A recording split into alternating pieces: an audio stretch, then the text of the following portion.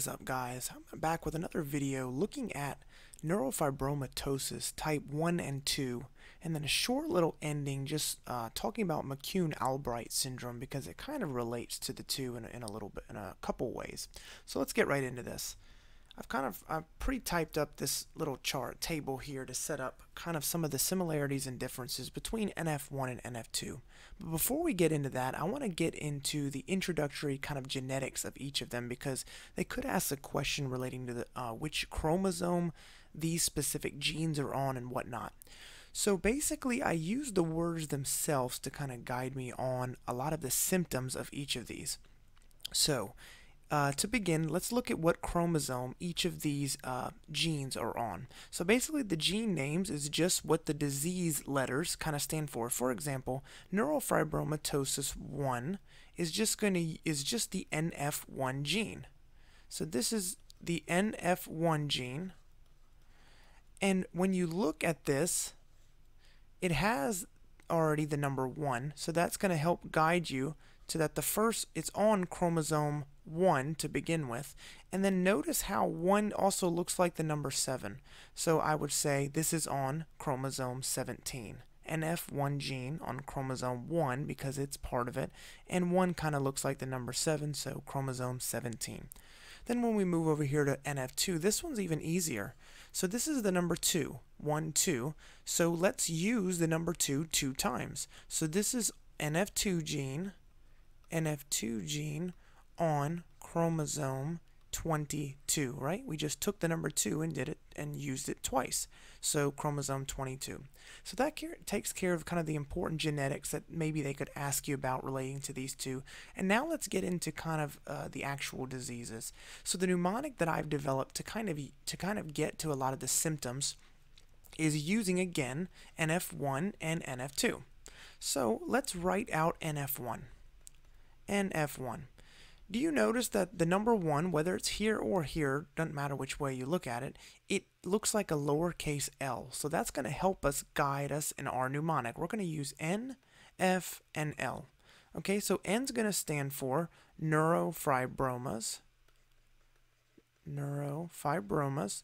These are just cutaneous, uh, these are specifically cutaneous here. These are just uh, benign fibro neurofibromas that are within the skin. So basically they are nerve sheath tumors that are benign that grow all over your skin. They're called neurofibromas. So that N told us that there's neurofibromas. And not only that, the disease name tells you that there's going to be neurofibromas. But specifically in NF1, this is cutaneous neurofibromas. So these are on the skin. Okay, so next, so that covers N. Now let's let's look at what the letter F will stand for. So in NF1, F is going to stand for freckles. Okay, so kind of one of the, the things that you'll see in neurofibromatosis type 1 is freckles, specifically in the axillary and inguinal region. Okay, so that'll be, they'll have freckles there along with these neurofibromas all over their skin. Okay, so that takes care of the letter F, and then the last one is L. Now this one has a couple things that you have to use for it to stand for. So L, because lowercase l looks like the number one, that's how we're able to derive this. And this is going to be L for Lisch nodules.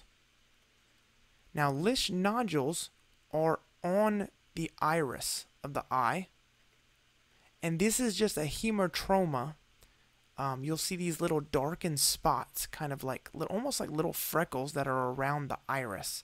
Now, don't get this confused because it's kind of hyperpigmented and it can look similar to how what you would see in um, Wilson's, as well as. But in Wilson's, though, you have more of a ring. Remember in the copper disease, and um, in uh, Lisch nodules, these are more kind of freckled around the iris. Okay, so don't mix that up. So Lisch nodules, so that's our first L. Then the next L is going to be moving into, so there's something called an optic pathway glioma.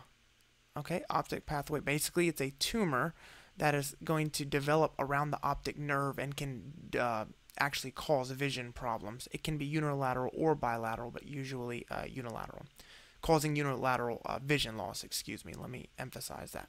So you may be thinking, well, that doesn't start with an L. So the way I do it is I just say it's a light pathway glioma. because clearly light goes into the eye and light is needed to kind of send to basically is used in the vision pathway. So I, I just pronounce it as a light pathway glioma. Okay, so that's our other L. And then the last L for this one is going to be, now remember, it's probably what everybody can recognize this NF1 uh, disease as is with cafe au lait spots, right?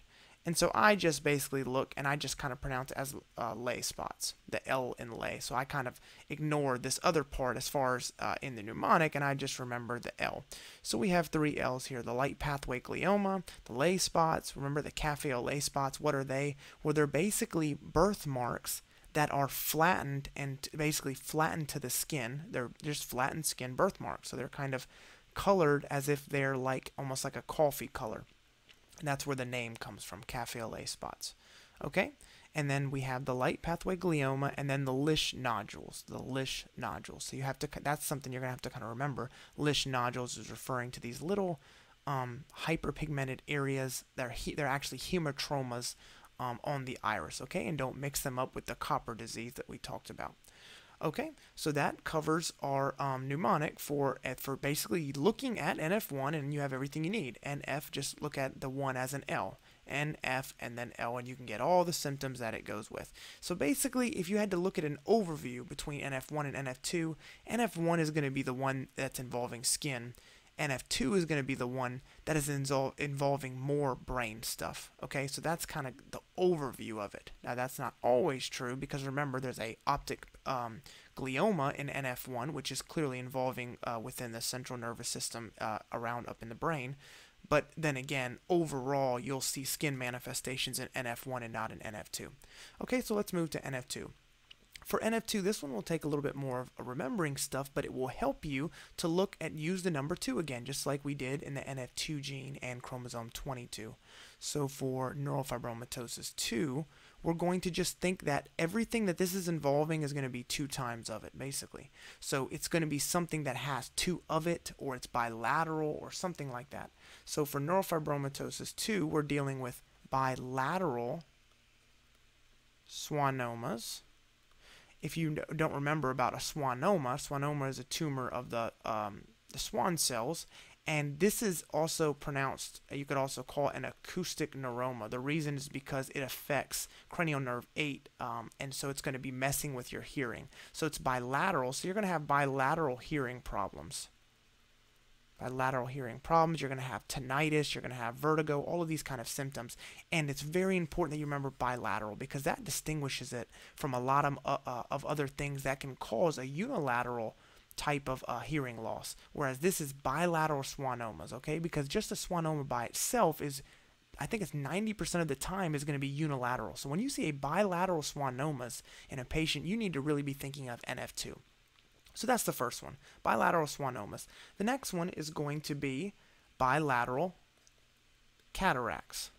Now I want to emphasize here, in this situation, I'm more or less saying that the cataracts can be, um, basically it can be bilateral. So I'm more or less saying in here, the two times part of the mnemonic is really saying that because we have two eyes, so you you can have cataracts in both of the eyes, but you can also have a cataract in one of the eyes in this situation. The bilateral is really important, more or less, in schwannomas. So you can have you're going to have bilateral schwannomas, cataracts, and then you're also going to have um, meningiomas. So let me remind you, for meningiomas, this is a very common type of uh, primary uh, brain tumor, and it's uh, very benign, so it's usually not dangerous at all. They can usually fix this. And then ependymoma, the ependymomas, you can also you're also going to see these in this as well. So you see all these different types of tumors. And let me remind you, for ependymoma, if they wanted to really make the question hard, they could try to describe the symptoms more or less that would be associated with a lot of these. For example, remember with meningioma, although they're very benign, they could say mention something about psammoma bodies. And psammoma bodies, we know, uh, is one of the things that's related to a possible uh, meningioma. They could describe it as seeing psammoma bodies on histology. What about for ependymoma? Remember that ependymoma is known to block the fourth ventricle. It loves to sit in the fourth ventricle. So what, what, what does that mean? Well, when you go through the lateral ventricles and then enter the third and then the fourth in the brain, if you have cerebrospinal fluid fl flowing through here, right, and this is the lateral ones, this is the third, and this is the fourth.